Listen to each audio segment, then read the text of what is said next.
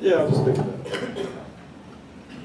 Um, I don't want to bore you by saying the same stuff I said last night, so I got something slightly new for you. The Congressional Research Service commissioned a report called Keeping America's Pipelines Safe and Secure Key Issues for Congress. And in this report, it says, in February 2003, FERC promulgated a new rule, RM02-4-000. Y'all bored yet? Wait till hear what it is. To protect critical energy infrastructure information, CEII. Now, FERC knows what I'm talking about. All those FERC, all those filings you see Sabal Trail make on the FERC website that are marked CEII, that's what that's about. Okay, why, why did they promulgate this rule about critical energy infrastructure, infrastructure information? The rule defines CEII as information that, quote, must relate to critical infrastructure, be potentially useful to terrorists, and be exempt from disclosure under the Freedom of Information Act, unquote. That's right, you cannot even get this information with FOIA, which, by the way, we know by actually trying it because someone in Spectra Busters tried getting the landowner list through a Freedom of Information Act and was told, nope. So,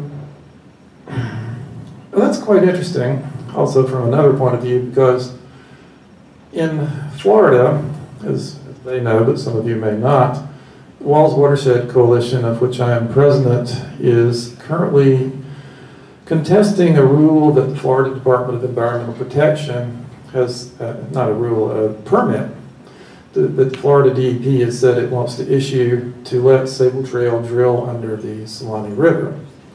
Now that's in WWALS territory, we in- incorporate the upper Suwannee River. We think it's a really bad idea for many of the same reasons that you've heard mentioned before, having to do with fragile karst limestone. And I'm sure everyone around here has heard about the Shiloh Road sinkhole and the Snake Nation Road sinkhole before that, that the county ended up spending, I think, about half a million dollars to fix.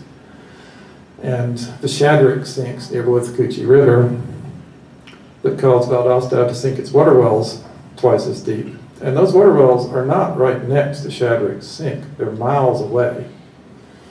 Which kind of makes the point that if the pipeline drilling under the Suwannee River or the Withlacoochee River were to cause a sinkhole, it could have effects on, we don't really know whose wells or where else.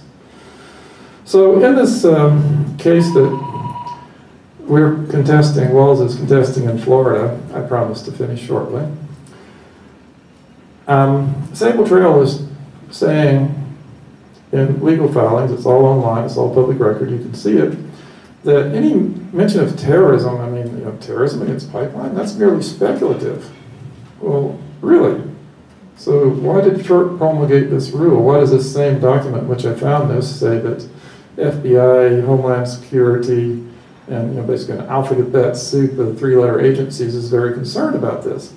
And even more to the point, why is Sabal Trail hiding information behind a rule expressly designed now, remember that be potentially useful to terrorists, that was in an and sentence. It doesn't mean it's one option. It means it has to be potentially useful for terrorists, to terrorists, to be using CII to, CEII to protect it. So, which is it, Sabal Trail? Are terrorists actually a risk, or are they not?